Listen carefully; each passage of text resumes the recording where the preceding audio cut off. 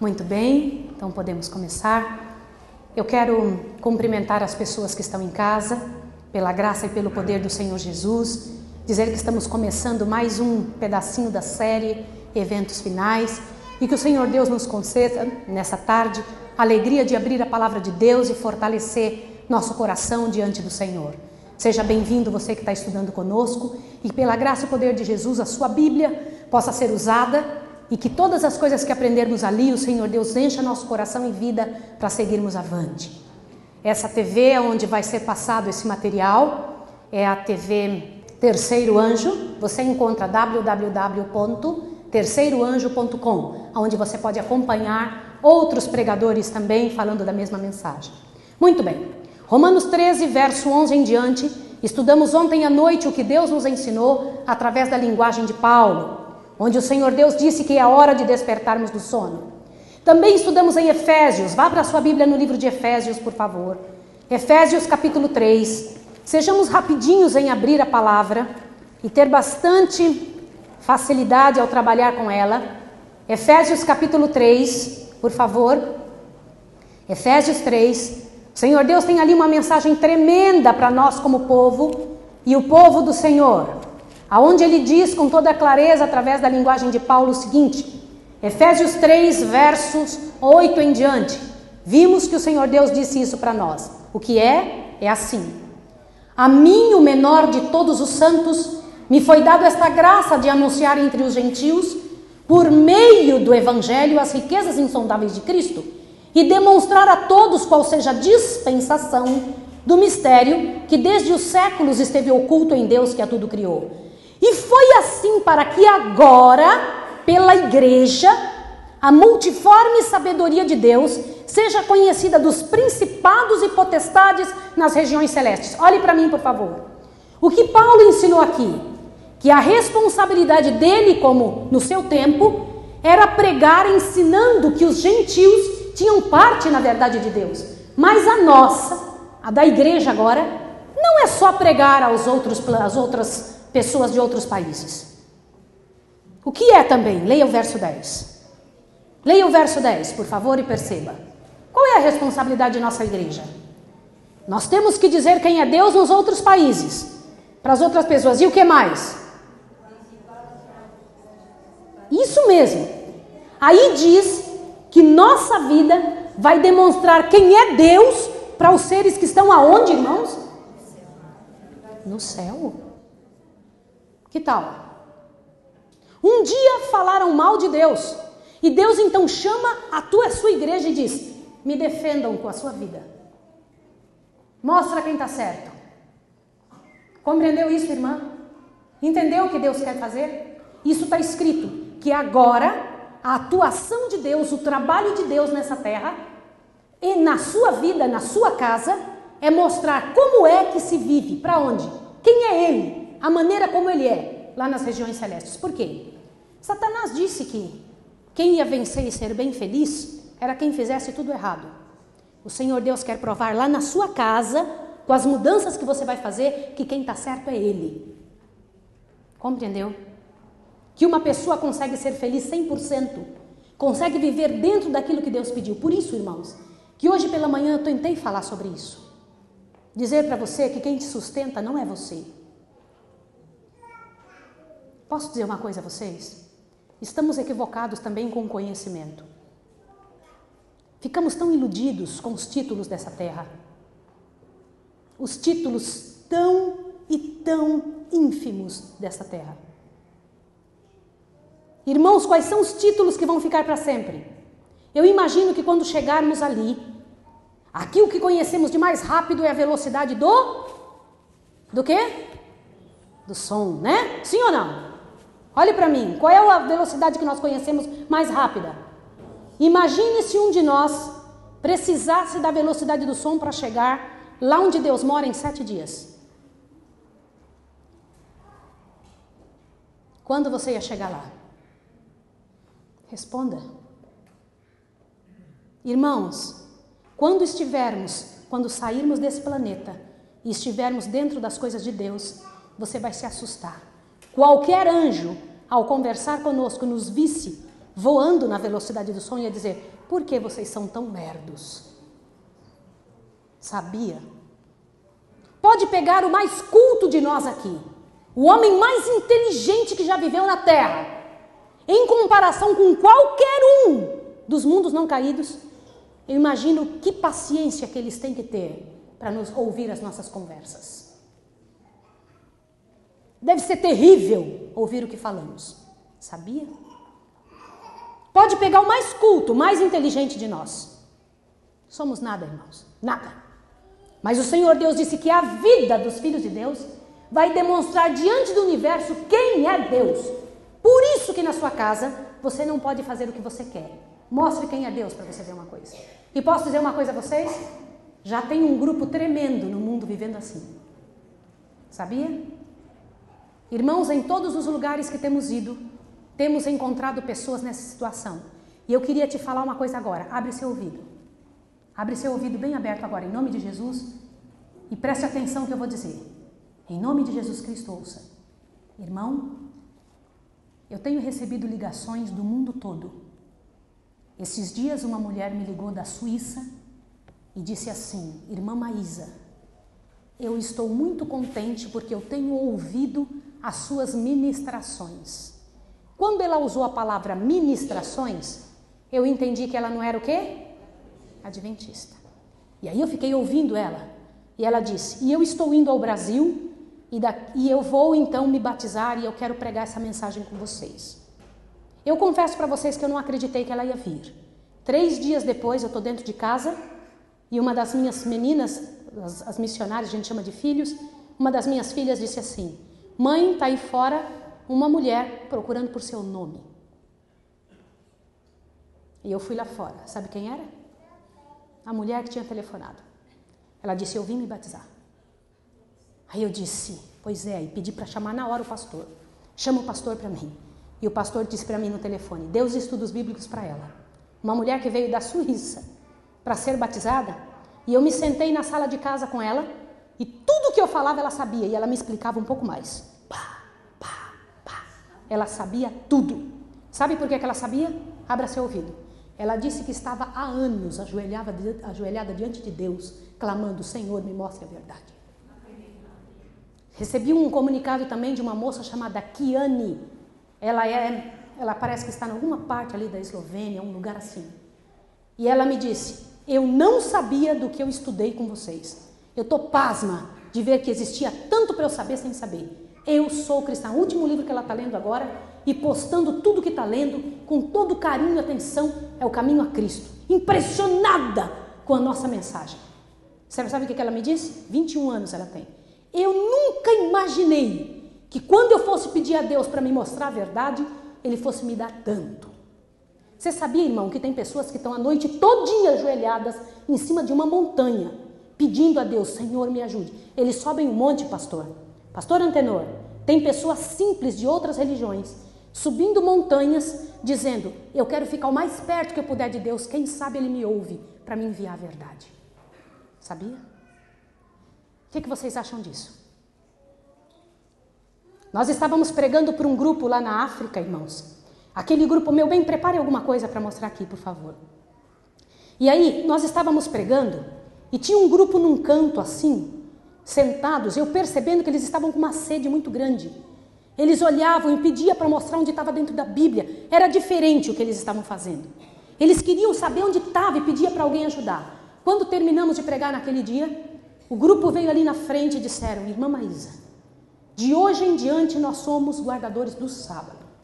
Aí eu falei: Amém, meu filho. Nós somos da igreja presbiteriana, todo esse grupo que veio aqui. Nós entramos porque vimos toda essa quantidade de gente aí na porta. Resolvemos entrar e nos sentamos. Eu não sabia de jeito nenhum o que foi dito hoje. E nós vamos trazer os jovens da outra igreja. Sabe o que eles fizeram? Eles foram lá e pregaram, irmãos, com uma capacidade incrível.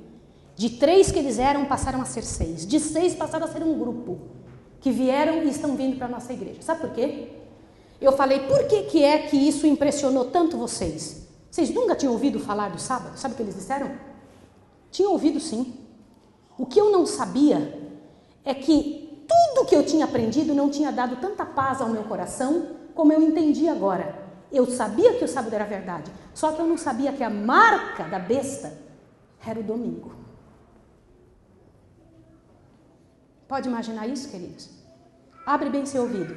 Tem uma multidão aí fora e na sua rua clamando a Deus pedindo para saber o que você sabe. Eles estão doidos para ter a chance que você tem. E tua chance é agora. Ouça o que eu estou lhe dizendo. Sua chance é agora. Hoje pela manhã estudamos um pouquinho de Mateus 24, um pouquinho de Mateus 25 e o trabalho que o Senhor Deus pediu que nós fizéssemos ao estudar sobre o que, irmãos? As três mensagens angélicas. Por favor, eu queria que você abrisse em Apocalipse 14, verso 6 em diante. Olha o que Deus diz que vai acontecer. Vi outro anjo voando pelo meio do céu, tendo um evangelho eterno para proclamar aos que habitam sobre toda a terra, a toda nação, tribo, língua e povo. Queridos, estamos no limiar de um novo tempo. Por favor, eu queria que você observasse muito o que você vai ver agora. Nós vamos abrir e descortinar diante de você algo muito sério. Por favor, vá em Mateus 25 de novo. Novamente, Mateus 25. Mateus capítulo 25. Observe isso que o Senhor Deus tem ali. Um detalhe de que não falamos pela manhã sobre as virgens do Senhor. Para que você entenda a seriedade do que é que nosso Deus preparou, preste atenção. Mateus 25. O Senhor Deus aqui fala sumamente de sua igreja. Isso daqui não é mensagem para qualquer outra igreja, é a igreja adventista. Por quê? Porque a mensagem para a igreja, a igreja o que, irmãos? Virgem, igreja remanescente. Qual é a igreja virgem? Responda. Como é que é o nome da igreja virgem nessa terra? Por que, que você tem medo de dizer isso? Vamos analisar por que, que você tem medo? É porque você acha que se disser isso, vai magoar outras igrejas. Não é? Sim ou não? E se você não disser, vai acontecer o quê? Você fica bem na foto. E Deus? Responda. E as outras pessoas que precisam saber disso? Como é que elas ficam? Vou perguntar de novo. Qual é a única igreja na terra que é virgem, irmãos? Responda. Amém. Por isso você faz parte dela. Entendeu? E se você tiver essa coragem sem medo de dizer para as pessoas. Não tenha medo de dizer isso para as pessoas. É dizendo isso que as pessoas despertam. E por que, que uma igreja é virgem e por que outra não é? A igreja virgem não, permita, não permite nenhum dogma de fora, nenhum é, ensinamento de fora. Olha, toda igreja que guarda o domingo, que não guarde o sábado, toda igreja que não guarda o sábado, tem algo que não é do marido da igreja. O marido da igreja é Jesus. E Jesus não inventou a guarda de qualquer outro dia que não seja o sábado. Tá entendido? Sim ou não? E aceitar algo que não é do marido é ser considerado uma prostituta, segundo a Bíblia. Eu sei que é duro, mas não fui eu que inventei essas palavras. Não está na Bíblia? Sim ou não? Você compreende como é sério isso? Eu falo com todo respeito, mas isso é bíblico e você tem que encarar isso. Um dia todo mundo vai ter que encarar isso e agora é o momento de você que veio aqui encarar essa verdade.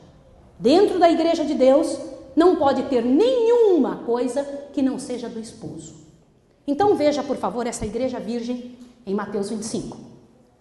Então o reino do céu será semelhante a dez virgens que, tomando as suas lâmpadas, saíram ao encontro de quem? Algumas Bíblias diz noivo. A, a, a tradução certa é esposo. Por quê? quando Jesus vier, ele não virá como noivo da igreja.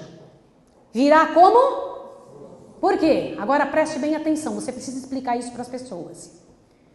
No antigo, lá na época de Jesus, no tempo antigo, quando um rapaz olhava para uma moça, pss, olhe para cá, olhe para cá. Quando um rapaz olhava para uma moça, ele não pedia a ela para namorar se ele gostasse dela, pedia para o pai dela. E quando ele ia no pai dela e dizia, posso me casar com ela? Ele não pedia, posso namorar essa moça. Ele só se aproximava se ele já estivesse próximo e com capacidade e condições de casar-se. Compreendeu? E então o pai perguntava para ele: Você tem condições de criá-la do jeito que eu crio? Você tem condições de dar para ela o que eu dou? Prova para mim, o preço que eu gastei por ela até agora é tanto. Se você tiver, você pode ficar com ela. Mas ele não estava vendendo a filha. O pai queria ter a certeza que aquele filho, aquela filha, seria tão bem cuidada como ele cuidava. Tá entendido, sim ou não? Muda de visão isso? O pai não estava vendendo. Agora olhe bem. O rapaz então dizia: Eu tenho o dote para dar por ela. Eu vou na casa da minha família e vou buscar. Enquanto isso, eles estavam ou não comprometidos. Estavam comprometidos? Sim ou não? Estavam. O pai considerava ela noiva. E ele então ia na casa do pai e marcava o dia para trazer o dote. Quando ele trazia o dote, antes de entregar na mão do sogro, chamava umas testemunhas, que eram chamadas pelo sogro. E então ele recebia o dote e passava como documento a, a, a responsabilidade de não mais noivo. Sabe o que, que ele era agora? O esposo. Mas ele não levava a moça agora. O dote que era recebido era usado para fazer o enxoval dela. Entendeu? Então tudo que o rapaz trazia ficava com a moça. Tá entendido, sim ou não, queridos? E o rapaz, então, saía dali como marido, mas não levava a moça. Voltava para a casa do pai para preparar lugar para ela. Entendeu? E um dia, então, o pai dizia: Pode vir buscar a moça, ela está pronta. Eu já preparei ela no enxoval dela. Quem dizia que ele podia buscar? Era o pai da moça. Olha que interessante. E então o rapaz saía de lá da casa do seu pai e vinha junto com alguns amigos dele. Ele não vinha sozinho. Não podia vir na celebração de buscar a esposa se não fosse com muitos amigos. Olha que coisa linda. E lá vinha ele. Só que a moça tinha que se vestir de virgem para esperar o rapaz junto com mais dez virgens. Sabia? E lá vinha ele. Olha que bonito agora. Quando ele vinha com sua comitiva de rapazes, ela vinha com a comitiva de moças. E quando eles dois se encontravam, ele vinha buscá-la como esposa, não vinha buscá-la como noivo.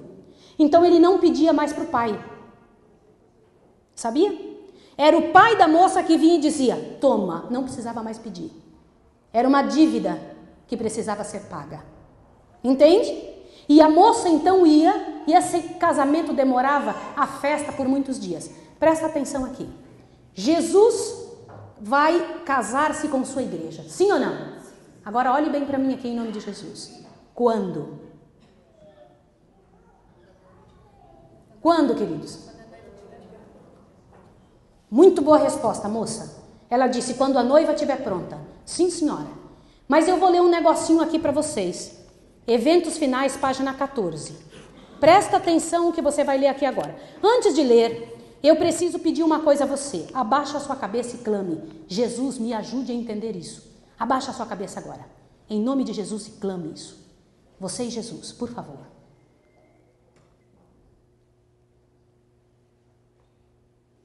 Senhor Deus dos exércitos, amado Pai celestial, tu sabes a necessidade de minha própria vida ao estudar, Senhor Deus, essas passagens com meus irmãos aqui de Maringá.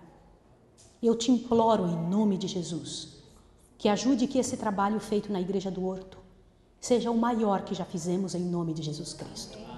Pai, eu estou clamando a Ti nesse momento, em nome de Jesus, o nosso Redentor, aquele que está no lugar santíssimo do santuário celestial. Eu rogo a Ti que o Senhor tenha misericórdia de nós agora. Pai, que o Senhor expulse do nosso coração qualquer coisa que não seja tua. Não permita que sejamos roubados da nossa chance de estudar o que vamos estudar agora. Em nome de Jesus, Senhor, vamos entender essa parte da vida da Virgem, que é a tua igreja. Eu clamo o teu Santo Espírito trabalhando em nossa mente agora. Pai, que qualquer diferença entre nós seja tirada agora. Senhor, em nome de Jesus, nos ajude. Pela graça e poder de Jesus. Amém. Queridos, abram bem os ouvidos aqui. Olha o que ela escreveu aqui, página 14. Todo mundo está ouvindo? Por favor, não perca agora. Se você perder isso, você não tem como continuar entendendo. Sendo que Deus me tem mostrado as jornadas do povo do advento para a santa cidade e a rica recompensa ser dada aos que aguardarem o seu Senhor quando voltar de suas bodas. O quê? Os que estão aguardando o Senhor ao voltarem de suas bodas. Como assim? Como assim, irmãos? Aqui disse que quando Jesus estiver voltando, ele está voltando do quê? Das bodas. Ah, quanto tempo na minha vida eu pensei que quando Jesus voltasse, ele iria se casar conosco? Não. Quando ele voltar, ele já vai estar casado com sua igreja. Você não é chamado para o seu casamento com Jesus. Você é chamado só para a festa do casamento. Quando ele vier, ele não vem ainda para algo que vai ser dele. Ele vai vir só porque já vai ser dele. Quer ver isso? Apocalipse 19. Corre lá. Apocalipse 19, por favor. Meu bem, página 29, 284, 289 daqui. Vamos lá. Apocalipse 19. Por favor, coloque alguma coisa em Mateus 25. Nós vamos voltar ainda em Mateus, mas vai lá para Apocalipse 19 e vê o que Jesus diz aqui para você. Apocalipse 19 diz assim: Então saiu do trono uma voz que dizia: Louvai o nosso Deus, vós todos os seus servos, e vós que o temeis, tanto pequenos como grandes. Também ouvi uma voz como de uma grande multidão, a voz de muitas águas, a voz de fortes trovões que dizia: Aleluia! Pois já reina o Senhor nosso Deus, o Todo-Poderoso. Regozijemo-nos, exultemos e demos glória. Por quê? O que, que diz aí? Pois são chegadas o quê? As bodas do cordeiro e já sua noiva se aprontou. E peraí, peraí. Tem algumas Bíblias que não diz noiva. Diz o que aí? Sua esposa se aprontou. Opa! E foi-lhe dado que se vestisse de linho fino resplandecente e puro. O linho fino são o quê? O que, que diz aí? Os atos de justiça de quem? Ei, irmãos, olhe para mim aqui agora. Você não pode perder essa parte. Por favor, veja o que diz também em Primeiros Escritos. Meu bem, está aí pronto? Observe o que diz em Primeiros Escritos, página 279, sobre isso que você vai perceber agora. Acompanhe comigo essa parte para que você encha seu coração Esteja pronto para entender o que o Senhor quer de você e de mim. Ó, a terceira mensagem encerrada. Acompanhe lá, eu vou lendo aqui.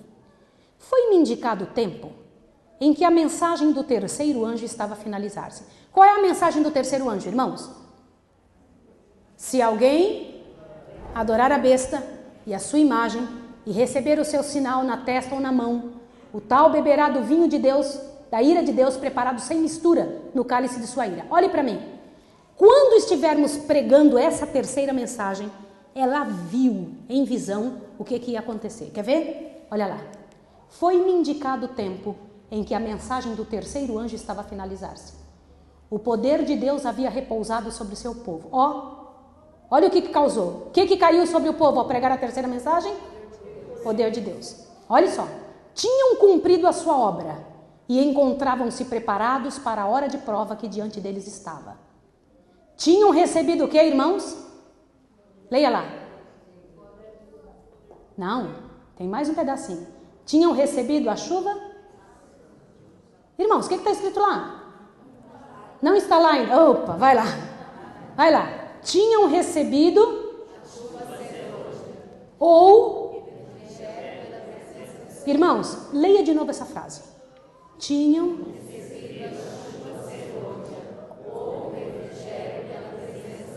Se eu te perguntar, irmão, o que é chuva serôdia, você responde o quê? Chuva serôdia ou refrigério pela presença do Senhor. Irmãos, olhe para cá. Com todo respeito, eu preciso dizer uma coisa a você. Você sabe por que, que a gente lê as coisas e não entende? Vocês sabem qual é a parte mais difícil que eu, que eu sinto ao estudar a Bíblia com a igreja? Nós não sabemos fazer interpretação de texto. Não é só aqui, em todo lugar do mundo. Todo o planeta tem dificuldades com duas áreas da educação. Não aprendemos matemática nem a língua materna. Aqui no Brasil existe problema com português e matemática, sim ou não? Sim. Lá no Japão também, lá nos Estados Unidos também, na Rússia também, na, lá na Alemanha também, tudo que é canto. Adivinha por quê? As coisas doces, abre seu ouvido. Os doces, irmãos, termina a sua capacidade de entender matemática. Acabou. E as carnes, tudo que putrefa, que fica podre, que demora dois, três dias para fazer digestão, deleta a sua capacidade de entender e fazer esse raciocínio lógico. Olha o raciocínio. Olha o que foi dito aqui. Tinham recebido a chuva serôdia ou o refrigério pela presença do Senhor. É um raciocínio lógico do que você está lendo. Mas sabe por que, que não consegue? A cabeça está assim, ó. Não consegue entender. Sabe por que, que o diabo faz isso? Olha bem para mim. Esperto ele. Muito esperto. Ele faz isso porque se você não entender o que lê, você não vai entender a Bíblia, e se não entender matemática, também não vai fazer cálculo nenhum das profecias. Ele é esperto ou não é? E você, mãe? Ainda vai perguntar para os seus filhos: o que é que você quer comer? Ainda vai perguntar? Ou você vai dizer: é isso, filhinho, que Jesus me mostrou que é bom para você e é isso que eu vou te dar? Hum? Que tal? É isso mesmo. Vamos ler de novo, que aqui é a chuva serôdia.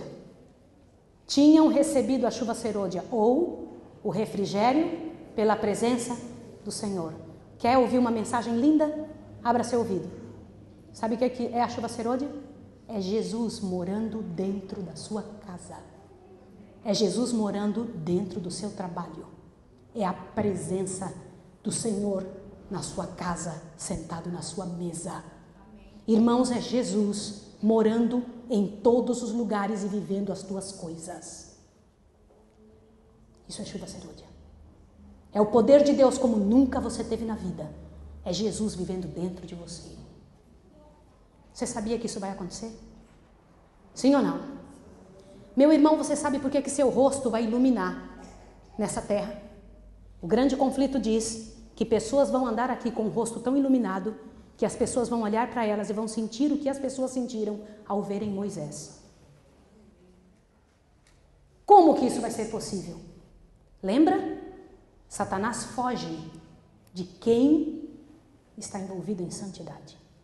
Santidade, irmãos. Santidade. Santidade.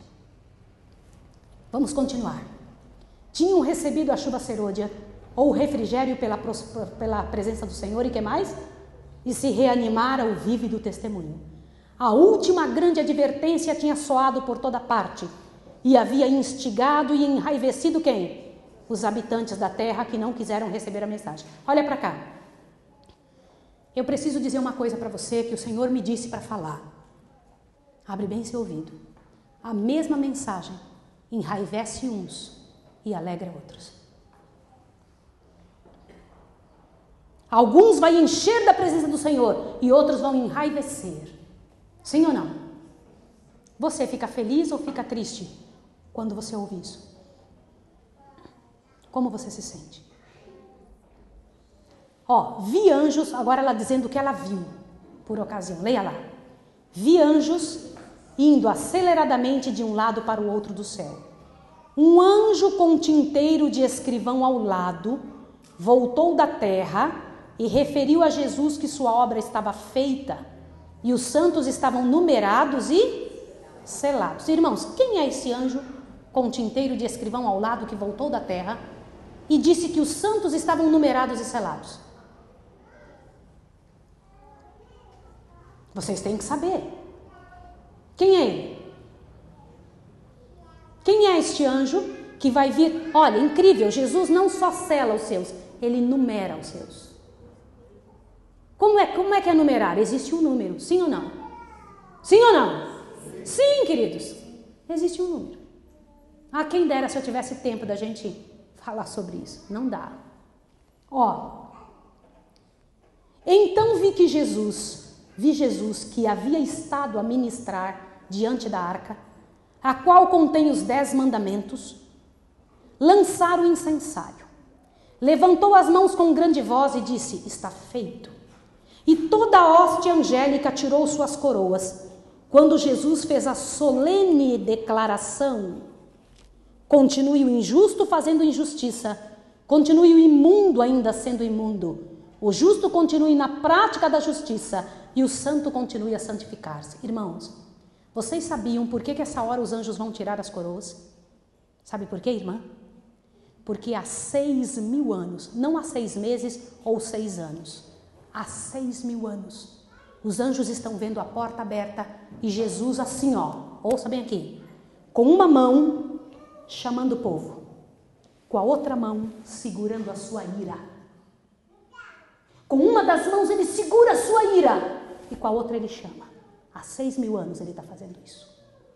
Vai chegar a hora que ele vai abaixar sua mão sua ira virá. E ele vai abaixar a mão e não vai chamar mais nenhum. E há seis mil anos ele vai parar de. Queridos, vai chegar a hora que os anjos vão ver isso e vão tirar as coroas de forma solene, dizendo: de agora em diante, nenhum entra, nenhum sai. Pode imaginar como vai ficar? Disse que esse momento vai ser o de maior silêncio no céu, onde eles saberão que ninguém mais vai ser chamado. Só que eu preciso te dizer uma coisa. Você sabia, esta porta fechará. Mas vai fechar primeiro para quem?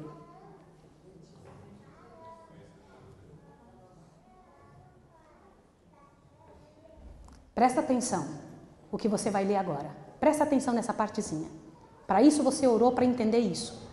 Cada caso fora decidido para a vida ou para a morte. Enquanto Jesus estivera ministrando no santuário, o juízo estiver em andamento pelos justos mortos e a seguir pelos justos vivos, Cristo recebera seu reino, tendo feito expiação pelo seu povo e apagado os seus pecados. Lê essa próxima parte agora, ó. Lê comigo. Os súditos do reino estavam completos. que mais? Como? Quando que as bodas acontecem no céu? Enquanto Jesus está no lugar santíssimo, fazendo aquela separação. Jesus, agora, no lugar santíssimo, está vendo quem vai fazer parte do corpo da sua noiva e quem não vai. Sabia? Você não é convidado para o seu casamento, você é convidado só para a festa do casamento. Quer ver? Apocalipse 19 de novo. Apocalipse 19. E disse-me, verso 9. Verso 9. E disse-me: escreve, bem-aventurado aqueles que são chamados para quê? A ceia das bodas do cordeiro. E disse-me ainda: escreve, estas palavras são fiéis e verdadeiras. Olhe para mim. Você não é chamado para o seu casamento, é chamado para quê? Para ceia. Para comemorar que você já faz parte. Entendeu? Sim ou não? Agora eu te pergunto: você foi convidado para a ceia, sim ou não? Você já aceitou o convite? Vão haver duas ceias no céu. Duas ceias por parte do céu. Vou repetir de novo. Vão haver duas ceias por parte do céu. Uma ceia do Cordeiro e outra ceia de Deus. Qual das duas você quer ir? Responda.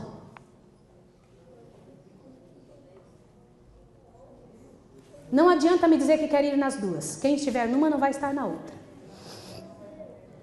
Qual das duas você quer ir? A ceia do cordeiro ou a ceia de Deus? Do cordeiro? É? Por que, que vocês não querem ir na ceia de Deus? Quem quer ir na ceia de Deus? Levanta a mão. Tomara que ninguém levante, por favor, não levante. Por que não? É. Irmãos queridos, quem não participar da ceia do cordeiro, participará da ceia das aves, irmãos. Aonde? Olhe bem, na primeira ceia, você será chamado para um banquete. Na segunda ceia, quem ficar vai ser o banquete. As aves virão comer-lhe as carnes, diz o Senhor. Meu irmão, minha irmã, em nome de Jesus.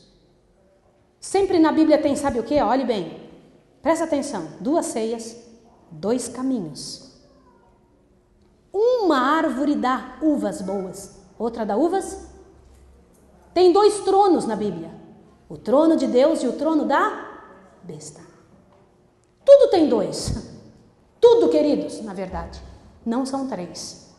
E não adianta você pensar que porque está um pouquinho lá, um pouquinho aqui, pertence ao Senhor. Preste atenção que eu vou lhe dizer.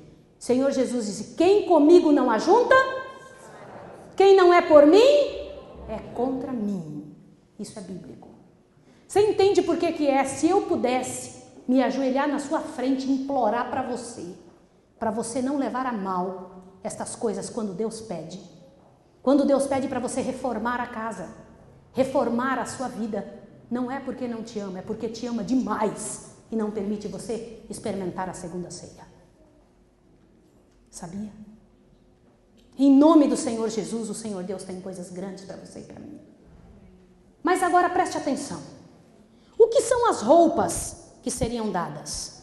Vá, por favor, para Mateus. Que roupas são essas que são dadas para a noiva?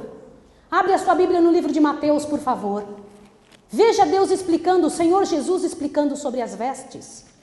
Por favor, Mateus, capítulo 22 capítulo 22. Você acabou de ler Apocalipse 19, onde Jesus disse que a noiva dele se aprontou e foi-lhe dado que se vestisse roupas de linho fino. Sim ou não? Então vamos dar uma olhada agora numa outra explicação de Jesus sobre isso. Com que roupa você vai chegar na festa do seu casamento? Mateus 22, verso 1 em diante diz assim: Jesus tornou a falar-lhes em parábolas e disse: O reino de Deus é semelhante a um rei que celebrou as bodas de seu filho. Enviou seus servos para chamar os convidados para as bodas. Mas estes, o que, que acontece aí? Gente, que vergonha isso. Aqui eu estou falando não de um convite de uma pessoa da igreja qualquer, de um irmão, etc, etc. E eu quero abrir um parêntese aqui para conversar com os irmãos sobre isso. Olhe bem o que eu vou lhe perguntar. Presta atenção. Quando você é convidado para um casamento de uma pessoa bem pobre, bem pobre. Já foi convidado para um casamento assim? Sim ou não? Que presente você leva?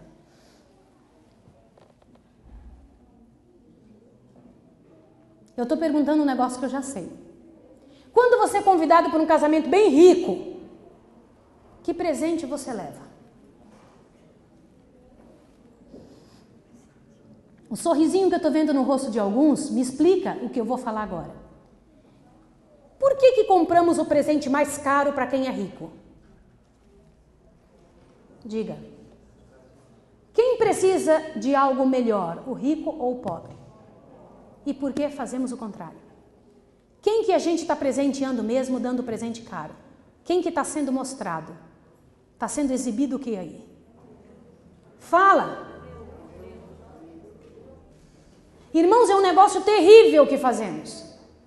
Terrível, terrível, terrível. Eu vou lhe contar um negócio que a minha mãe fez um dia. Como eu disse a vocês, depois que eu fui embora daqui, eu descobri algumas coisas da minha vida que eu não sabia. Eu fui visitar a família do meu pai, família da minha mãe, e corri atrás de algumas coisas da minha origem que eu não tinha nem ideia. Uma das coisas eu fui entender do porquê que a minha mãe fazia o que faz. Aliás, abre seu ouvido aqui numa coisa. Em nome de Jesus, abra seu ouvido. As pessoas não agem, olhem, olha aqui, ó, pelo que elas sabem, elas agem pelo que elas são. Você ouviu? Preste bem atenção no que eu estou lhe dizendo. As pessoas, você age na sua casa, com a sua esposa, com a sua família, com seus filhos, pelo que você é. E as pessoas cometem erros, filhos. E as pessoas acertam. Ou por intuição, ou porque Deus falou com elas, ou porque aprenderam errado ou certo. Mas nossas atitudes são resultado do que somos. Minha mãe foi empregada doméstica a vida toda. E nós não ganhávamos brinquedos porque éramos muito pobres. Mas um dia ela chegou em casa com uma caixa cheia de brinquedos que havia ganhado dos filhos dos patrões. E trouxe a caixa e colocou lá no meio. Ela tinha quatro filhos: Murilo, Mulinaron, Maís, Mulinaron é nome de gente, Viu? Eu estou falando aqui, vocês fazem assim. Murilo, vocês entenderam. Quando eu falei mulinaram, deu uma torcida aí. Mas não é receita médica. Tá? Mulinaram. Murilo, mulinaram, Maísa e Marcos. Somos quatro filhos. E então a minha mãe, meu pai chamava-se Mateus. É. E então estávamos ali no meio, olhando aquela caixa, impressionados com tantos brinquedos. A minha mãe disse: Esses brinquedos são para vocês. Mas antes de pegar os brinquedos, eu quero que vocês façam uma coisa. Maísa, escolha a boneca mais bonita. E eu olhei dentro da caixa, irmãos, porque durante toda a minha vida eu tinha ganhado uma boneca. E a minha boneca morava em cima do guarda-roupa, irmã. Ela só descia no Natal. No dia do Natal, minha mãe tirava ela de lá, brinca aí. Mas como ela não tinha dinheiro para comprar outra, ela botava lá de novo, para no outro Natal descer ela de novo. Era um negócio incrível. Portanto, ela morava lá. Eu ficava olhando ela dentro de uma caixa, chamava beijoca. Mas dentro daquela caixa, no chão, tinha bonecas lindas. Minha mãe falou: escolhe a mais bonita. Irmãs, eu peguei uma boneca maravilhosa. Acho que até cheiro tinha, de tão boa que era. Peguei aquela boneca, olhei, mamãe, essa, ela é a mais bonita. Falei, é. Meu irmão pegou um cavalinho que dava corda nele, ele andava sozinho, espetáculo. O outro pegou um carrinho que andava em controle remoto, imagine, coisa de rico, muito rico. E o pequenininho, não sei o que foi que ele pegou, mas eu lembro desses três brinquedos. Quando nós estávamos com isso na mão, minha mãe disse assim: Esse é o melhor. É. Ela falou: Vocês vão dar esse brinquedo para alguém.